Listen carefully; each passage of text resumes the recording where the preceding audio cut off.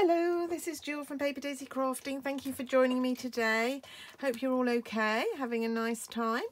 Um, this is our card today. This is our project for today. It's a graduation card.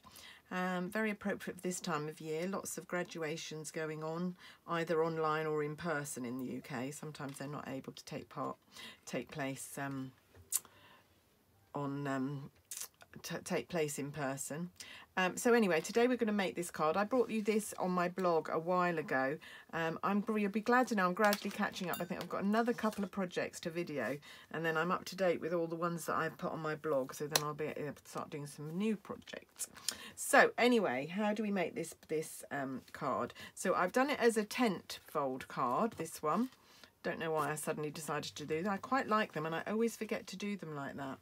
Um, so I've got my card blank here. So what I did was I took a sheet of A4 cardstock, I cut it down at 10 and a half, so in half, and then I scored it at 148, 14.8 centimetres and folded it over. And that gives you a lovely card blank. Right, okay. Now, what I'm going to do is I'm going to do the white panel first, and you shall see why in a minute. So I'm going to measure what I did last time, just to make it the same. So it's about nine by 13 and a half ish. We'll do 13 and a half and see where that gets us. So it's going to be big enough, yep. Um, so 13 and a half ish. Do that there and nine the other way. So that's going to be our white panel. Now, because it's got a gold mat, now on the card that I made before, it's got a gold mat behind it. And I didn't gut it. So sometimes when I've got a gold mat like this, I would go round and I would gut that. So I would still have that piece of gold foil that I can use. But the trouble is because it's black behind this gold, I thought that would show through and that you'd be able to see the edges. So I didn't do that. So I was trying to work out a way to get this effect, but without wasting this whole panel of gold foil because it's not the cheapest thing in the world and I don't want to waste it. So I've decided on trying a different method to do that today. So what I'm going to do is I'm going to stick my card blank down. Actually, I'm just going to just going to straighten that up because they're not quite straight at the bottom there. Not quite straight, so I'm just going to straighten that up. Otherwise, that is going to annoy me. So I'm just going to join them up. Great, this little chopper for doing things like that. I wish Stampin' Up would bring it back. Um, right, there we go. So, now you can see there's a wider border there. So I'm going to trim another little bit off there. Just so that because it wasn't quite 13. So I'm just going to trim another little bit off so that we've got a wide enough border and the same border all the way round. There we go. Yep, fine. That'll be okay, I think. Right, now what I'm going to do, today, instead of using, on this one, I used gold foil and copper foil and black, basic black. Instead of doing that today, I'm going to use the new metallic, the brushed metallics that are in the catalogue. So it's rose gold and gold. They look really rough, but actually they're really smooth and they're really gorgeous, actually. They're really lovely in real life. So um, you think you get eight six by six sheets in a pack, I think.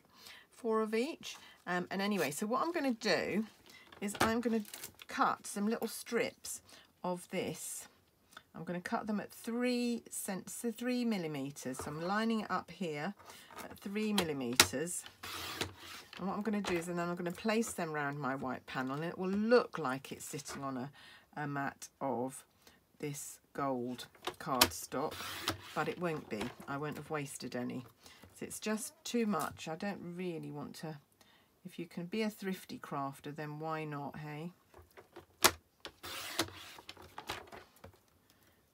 Go and one more to do the other side. So just lining that up carefully. This trimmer is great for doing little bits and pieces like that. Just really so useful.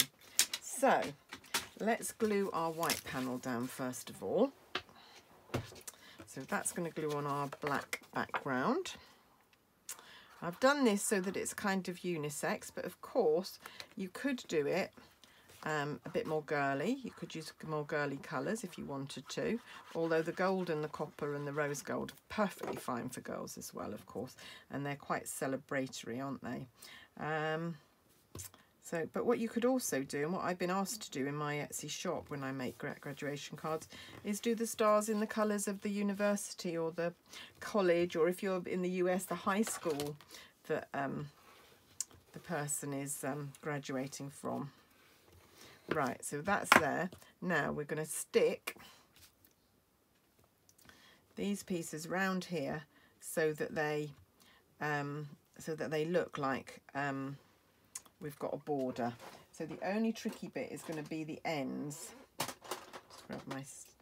Because we want to make sure that at the ends, they the, the corners, they meet up nicely.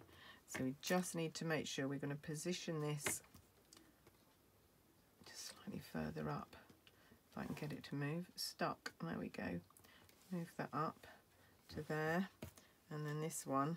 And then I can just snip it where it needs to be. So I'm just going to snip. Actually, I'm going to try and mark it with a pencil. A pencil and then snip it. There we go. So just snip there. And so then a little bit of Tombow. And this is just a really good way of doing a frame without using loads of cardstock. Um, because like I say, I, I'm, I'm quite happy to buy packs of cardstock and things, but I would much rather, I don't, I, fi I find that they're sort of like essentials and I'd much rather be buying a new stamp set or a new set of dies or a punch or whatever. Oh, that looks quite good. Right, we're going to do this one here now as well. One down the bottom. So I'm going to line this up, mark it with a pencil, trim it off. I think that's where my pencil mark was. I couldn't quite see it. Yeah, I think that's right. And then just glue it. So, so yeah, just a, a bit of a thrift, thrifty tip to get a nice border um, and of course you can butt it right up against the white because um, you've got a slight ledge there where the white finishes. So you can butt it right up. Just having a bit of problem butting that one up there. There you go. And then this one is going to go this way. Really loving this brushed metallic. It's really gorgeous. There we go. That one goes there.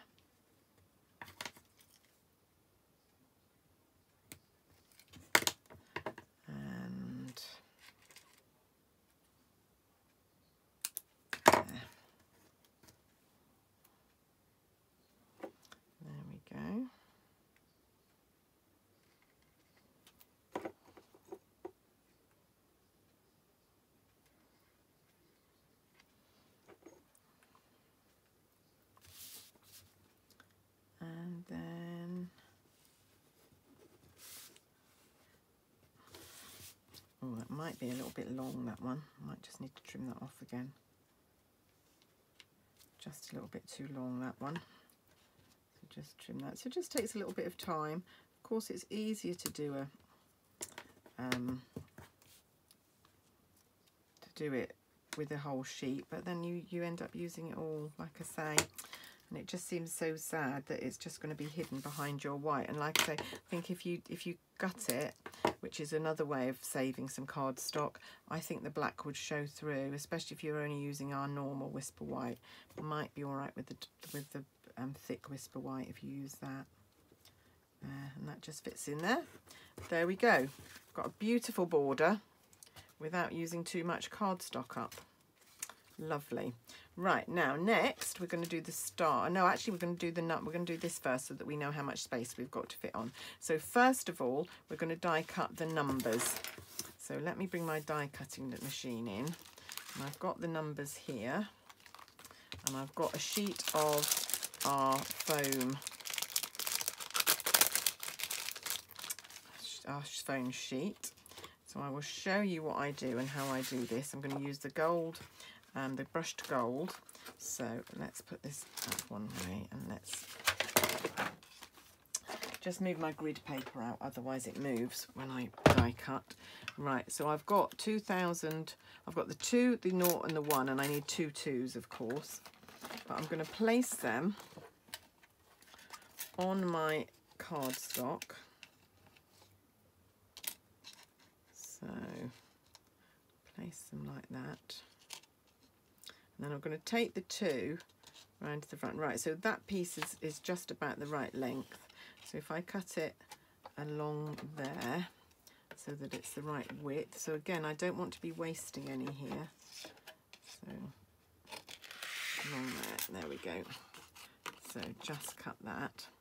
And then what I'm going to do is I'm going to stick this piece to my foam sheet. So take my foam, the backing off my foam sheet, stick this. This is to give them a nice 3D effect. I know you could use dimensionals, but it's quite quite fiddly putting dimensionals behind these. So just pull up the sheet, stick your card your cardstock down, and then put the cover back because then it won't be sticky against your scissors to cut. And then you can cut your piece of foam to exactly the same size that you need and you don't waste any. So I'm being very thrifty today, aren't I? There we go. Right, so this is going to go through and I'm using, it would go through my mini. I find when I'm using the, the four sheets, it's easier to get them through with the big mini because it's quite a thickness. And I'm not changing any plates or anything, so I'm putting them through, but you just need a bit more welly. So I find it a lot easier using the big cutter to do it. We'll do it on the little one, the mini one. Right, just putting it to, through two or three times. And then those should be cut through. Yes, those are cut beautifully. Look, I can see on the back the cutting, the, the backing is cut as well. And then, so take these out, if I can get them out, which at the minute I can't.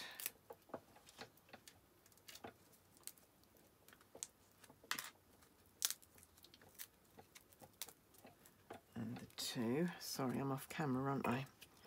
Just realised I was doing that off camera. Um, tricky releasing these actually. Oh. A lot easier, I did it, it was easier with the gold foil. Maybe I should have just done it in the gold foil again. Right, and I just need to run it through one more time with another two because I need another two. There we go. So run it through one way, run it back, run it back again. We'll Just, there we go. Now I can get rid of my die cutting because I've done all the other die cutting that we need. Right, get the get my grid paper back again and then I can remember where I'm meant to be. Right, so we just need to take this one out. Might just need to do a little bit of trimming around some of these. They don't look like they've come out. I think it's the, the, the metallics are just a bit more temperamental than normal cardstock or the foil. There we go. I've not actually tried this. This is the first time today that I've used these metallics. Right, I'm just going to go through. So it is already cut. It's just not coming apart terribly easily. Right, let's see if it will come apart now. Done that. Oh, there you go. Well, I always say with my, my videos, you get all the warts as well, warts and all. Right, okay, so I've got a two. So I'm just going to trim off a little bit off there, but that looks fine. Got a two. So yeah, it's um, must have some sort of um, vinyl layer, some sort of plasticky layer that doesn't cut very cleanly unless it's really, really precise. Here's, yeah, you see again, there's like a layer over the over the brushed metallics that is just not cutting through with the blades properly. Right, need to get that middle out. There we go.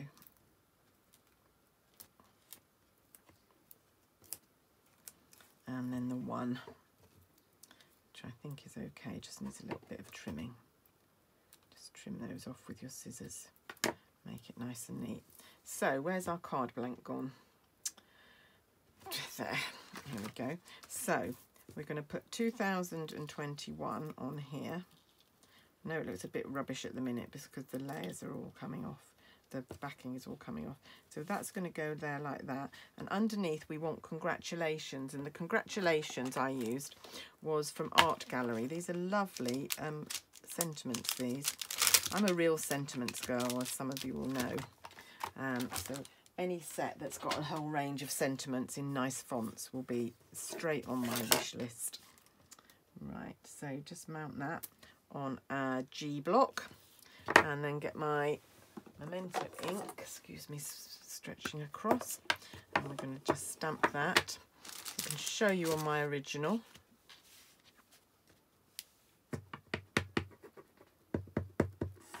There we go. Um, so we're going to stamp it. It's clear so I can see where to stamp, which is great. There we go. And then we can stick our numbers. And I'm going to start with the one. I'm going to work backwards. So I'm going to start with the number one. I'm going to check that there aren't any little lurking bits here to spoil the look of it. Is that all right? Yeah, I think so. So we'll put that one there. And I'm just going to bring in a little bit of washi, uh, not washi tape, post-it tape, just to make sure I line those numbers up. Um, they don't actually sell this as post-it tape anymore, but there are versions on Amazon. So it's just like a post-it note with that kind of... You could use a post-it note anyway, couldn't you, to do this? Wouldn't be bad. Um, but I've got reels of tape, which I love, and I'm so sad I didn't stock up a bit more before they stopped making it. Right, again, this has got... quite know how to do this. This has got... Oh, there we go. Just smooth it down.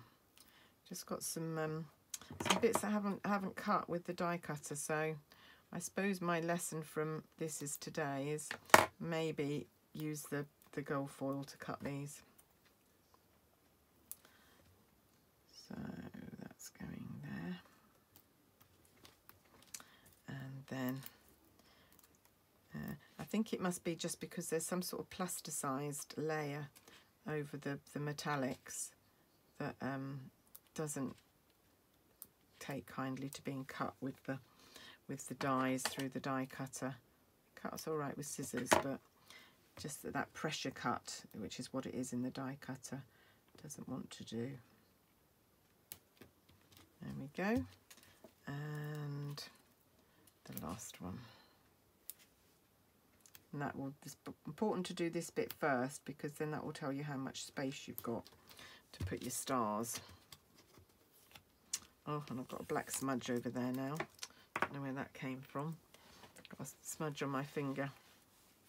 I have to hope I cover, can cover that up with a star. Okay, so I have die cut already. And these cut out all right, actually. These did cut okay. I think it's with the foam as well, with the numbers. That doesn't help. Um, I've cut out three big ones, one black, one rose gold, one gold. And I've cut out six little ones, two of each of the colours. So we're starting down here. We'll start with the gold, so it matches the, num the numbers. And I just need to try and position that so I cover up my my splodge there. That's going to go there. So a little bit of Tombow.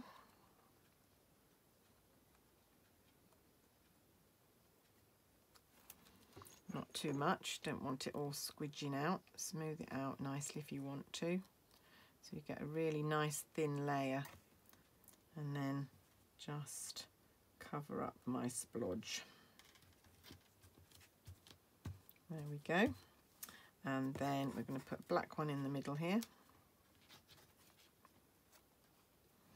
So this is just basic black cardstock. These um, stars are cut, I didn't tell you, did I? They're cut from these two dies, which are from now, I want to say, I think they are Stitched Stars, and they're still in the annual catalogue. They've been around for a long while, um, but they're lovely, and they're going to be great coming up to Christmas um, to have another set that you can use for Christmas. So I'm looking forward to that.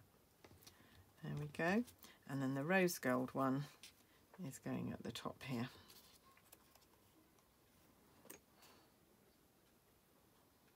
There we go. Spread the glue out. And pop that on. So we've got three big stars, quite well spread out. And then we've got some little ones. I've already put a dimensional on the back of these, these little, little stars.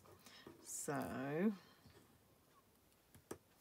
now what I didn't do before was put one below the big one at the bottom here, but I am actually going to do that today, because partly because I've got another splodge there. I want to cover it up, and also because this is slightly higher than it was on my last card. So, just going to position that one so it covers them up. There we go. Doesn't really matter. Right, and I can cut some more if I think I've got space to put some more. There we go, that one's going there. Just want to give the effect of having lots and lots of stars on here.